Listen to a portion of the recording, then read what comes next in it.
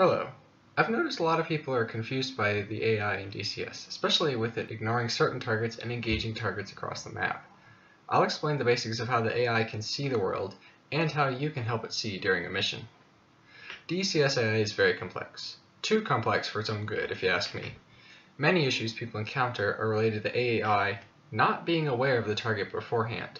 Just like you, your wingman is not omnipotent. He's not aware of a target until he sees it visually or with his sensors. If your wingman does not know about a valid target, he'll probably say something like 2, unable. Here you can see the AI notices the launch and calls out the SAM's position.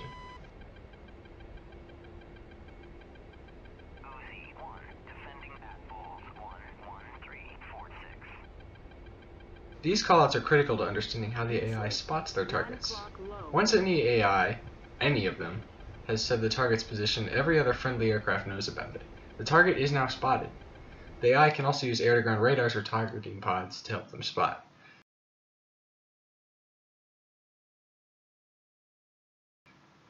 The player can see exactly which targets are spotted by using the Fog of War map setting. This map setting shows the enemies only after the AI has seen them. But you don't need to sit and wait until the AI sees the target, you can actually call them out for yourself. This must be enabled in the settings menu. Under the gameplay tab, there's an option called cockpit visual recon mode. Checking this box will allow you to call out targets as well. I bound the right mouse button to enable visual recon mode. I right click and now I have this little red crosshair in the center of my screen.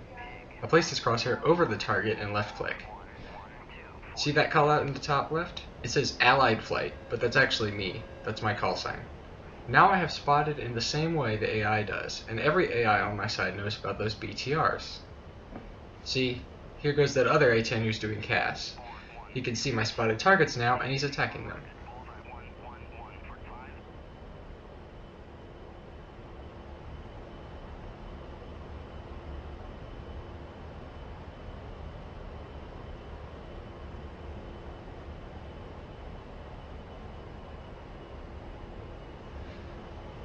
The AI might not immediately attack a target.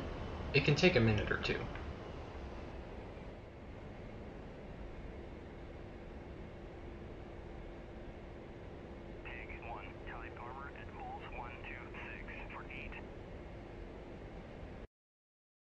Here you can see the spotted enemies are also showing up on the F10 map.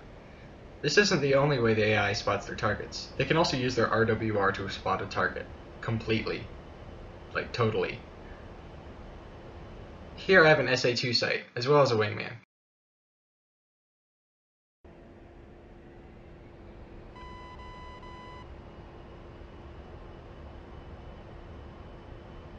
My wingman and I get spiked by the search radar, then the track radar. Both these radars appear on the F10 map, showing that they're spotted. Every EWR is spotted like this, which is why you probably encounter your wingman going off to attack an EWR on the other side of the map. Interestingly enough, this RWR logic does not extend to the laser warning receiver on aircraft like the KA-50 or the A-10. They do not spot you if you are using electro-optical in a flanker or a fulcrum. You can also have the AI know about targets beforehand using the search then engage command.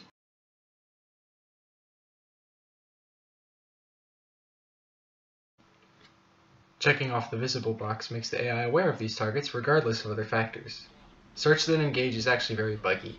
If the visible checkbox is not selected, the AI will search for the target, but allies cannot call out the target for them.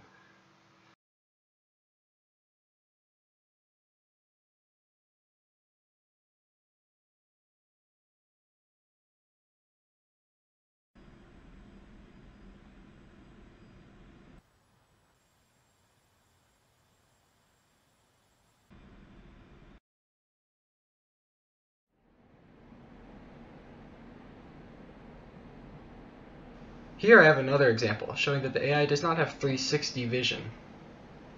Here the AI doesn't aggro until I've flown past him. Another thing is that the ECM prevents the AI from spotting you with a radar at long range, and it keeps the AI from aggroing at that range.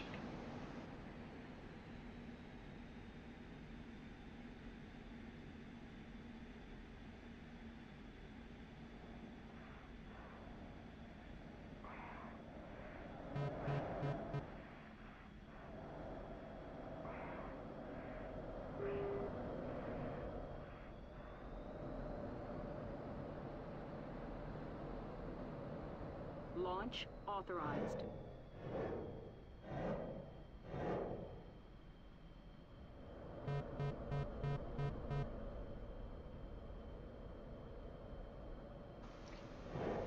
Lastly, ground units can also spot a target if they get close enough, but this is finicky. Tell me if this tutorial is helpful for some of you. I'll make another video soon if it is. Thanks for watching. Adios.